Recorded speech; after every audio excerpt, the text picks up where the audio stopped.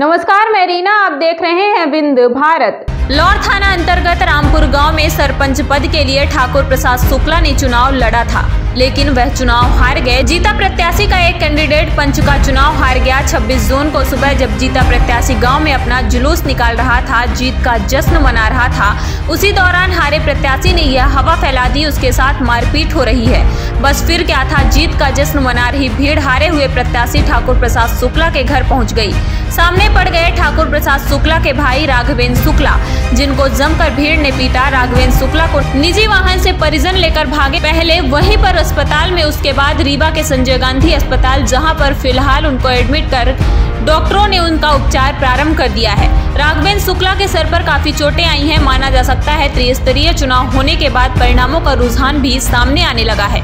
छोटे छोटे चुनाव बड़ी बड़ी दुश्मनी लेकर आते हैं, जिसका जीता जागता उदाहरण लौट थाने के रामपुर में देखने में नज़र आया। जहाँ पर जीते हुए प्रत्याशी के जुलूस निकालने के दौरान हारे हुए प्रत्याशी के भाई की जमकर पिटाई हुई। हालाँकि पिटाई का उचित कारण तो पुलिस जाँच के बाद ही तय हो पाएगा, लेकिन यह तो कहा जा सकता है की चुनाव परिणाम को रुझान आने का सिलसिला हुआ प्रारंभ। हमने लौर थाने के रामपुर गाँव के सरपंच पद के प्रत्याशी ठाकुर प्रसाद शुक्ला से बात की। आइए आपको सुनाते हैं, उन्होंने क्या कुछ कहा। क्या हो गया? तो रात में हमने चुनाव लड़ा चुनाव मैंने हार गया। इसके बाद में कहा था ये लोग ने प्लान बनाया। इस रैली निकाल रहे थे। प्लान बनाने के बाद में सीधे 200 आदमी सीधे टूट पड़े मेरे घर पे। गो, गोली लेके और तलवार उलवार सब लेके टांगा वांगा लेके मेरे घर पे कूद गए सीधे। इसमें थे कम से कम 200 आदमी करीब थे। इस बात की शिकायत आपने थाने में की? हाँ किया थाने में। थाने वालों ने क्या? हाँ थाने वाले अभी तो कुछ कार्रवाई किया नहीं। थाने वाले कोई कार्रवाई नहीं किया। अभी वो कौन सी पार्टी है वो? वो लोग जो लोग बीजेपी हैं। क्या नाम है वो? जीते हुए। जीते हुए वाले का अखिलेश शुक्ला नाम है। कितने वोट से हारे हैं? हमने तो हरा है डेढ़ सौ वोटों से। आप जीते हो कि वो जीते? वो, वो जीता है।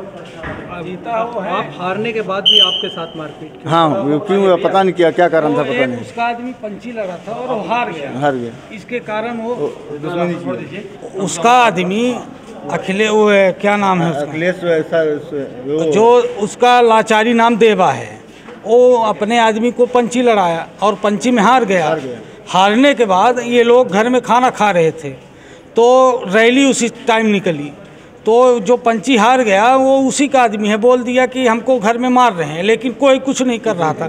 तो 200 आदमी इकट्ठा आए तलवार लेकर वो देवा जो पंची लड़ता है उसके पास कट्टा रहता है ऑलरेडी हमेशा।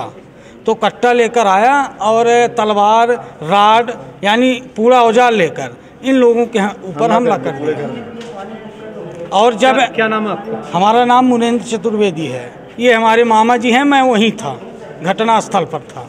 और एक बात और है, जब ये लोग लौट थाना गए तो टीआई को पैसा दिया और ग्रीस गौतम का डायरेक्ट फ़ोन आ गया।